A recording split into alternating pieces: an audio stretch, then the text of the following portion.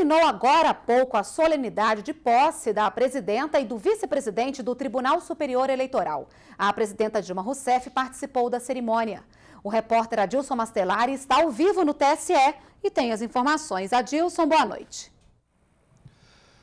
Boa noite, Renata. A presidenta Dilma Rousseff, como você disse, participou da cerimônia de posse dos dois ministros e, como faz parte do protocolo desse tipo de cerimônia, a presidenta não se pronuncia, ela apenas marca a sua importante presença nesse tipo de cerimônia.